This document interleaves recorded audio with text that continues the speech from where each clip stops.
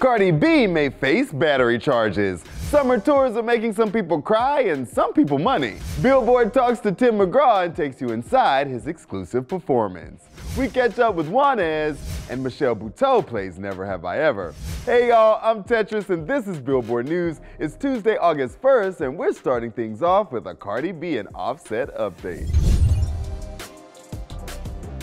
Offset says no, Cardi B actually didn't cheat on him, as people are saying she encouraged fans to splash her and she may face charges for throwing a mic back. Let me break it all down for you. She crazy, man. You might be crazy too.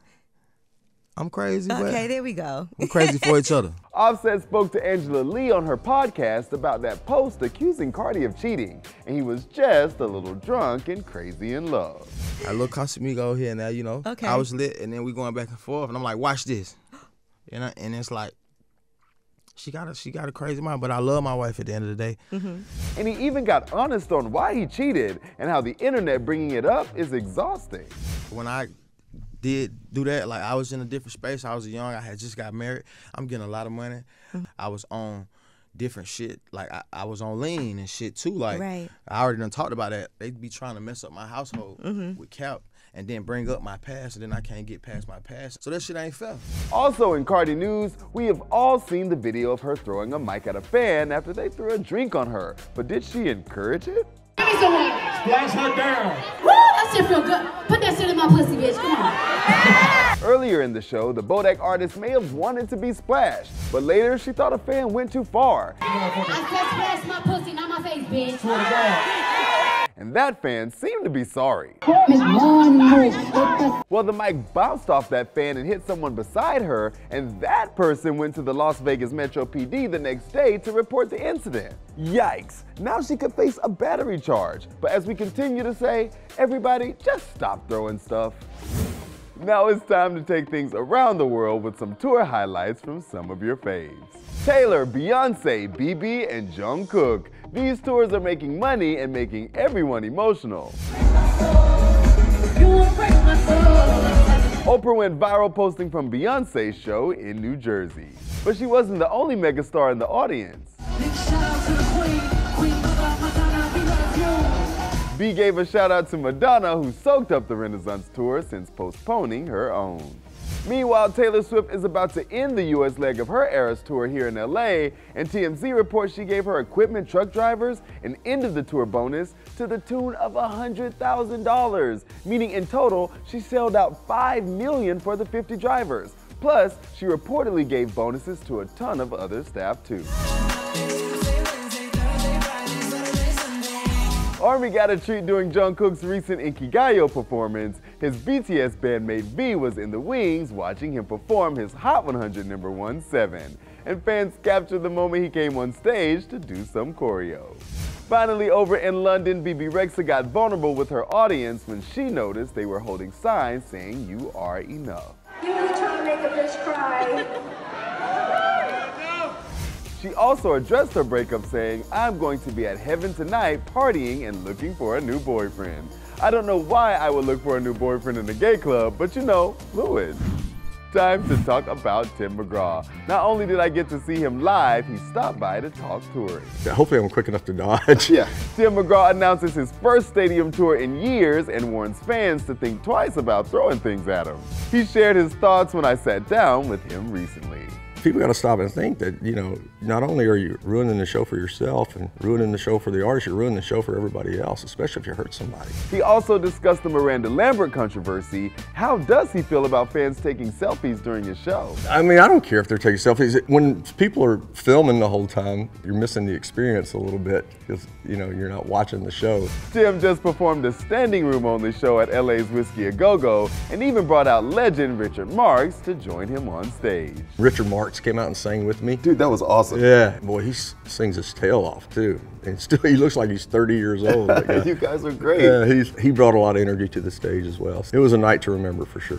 And announced his first arena tour in years, set to kick off in March 2024. It's the first time we've been in arenas in a long time. The last arena we did was when Faith and I did the last Soul to Soul tour. It's probably going to be one of the biggest productions we've ever had.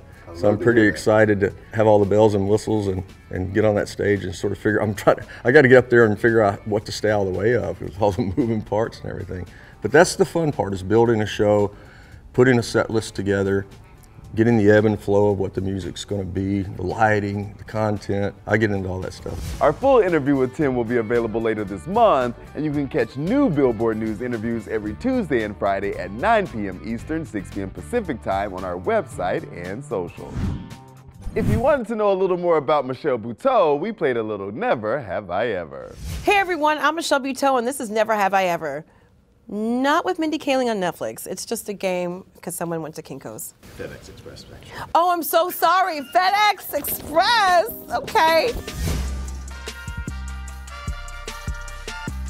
Have I ever lied to get out of a speeding ticket? No. With this face? Nope. I always say I just started my period, and they just look at me silently like you did.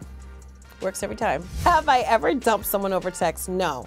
I have never done that because I'm a responsible bitch and I feel like I can ghost somebody to their face. I have never paid for a comedy show and left because it was bad, but I have left comedy shows that I've been on because I don't need to see that bullshit.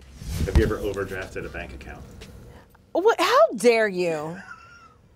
How dare you? I got top titty meat, back fat, and I got to balance a check. That's not fair. Have I ever lied about my age? Never. I'm proud. 45 from the waist up, 21 from the waist down. Bitch! Have I ever seen a ghost? Oh my God, I have. Where? No. See, these people, they want to invoke the spirit and shit, and I got to go home with it. Have I ever got skinny dipping? Yeah, but I call it plus size dipping. I actually went to the beach, and then, like, two weeks later, I had a pearl under my titty. There was sand under my boob. I didn't know if you knew how it worked. Have I become a member of the Mile High Club? I'm a size 1820. I could barely get in the seat that I paid too much money for. Are you serious? I go into that bathroom and it's like I'm breastfeeding everything in the bathroom, anyways. So, no, we could barely find the hole when I'm in a bed. And the interviews keep on coming. We talked to Juanes, Hay un amigo mío que estuvo, estuvo muy cerca de todas estas escuchas y un día lo llamé y le dije, oye, estoy haciendo una canción que ya, que ya sé que se llama Canción Desaparecida y habla sobre este tema. Quiero que me contes más. Y me senté con él a escribir un poco más la letra y después invité a Mavilan, que es de Kid Do, eh, que hiciera el rap. Y es una canción pues, que es poderosa. Parece importante contar historias a través de las canciones, ¿cierto?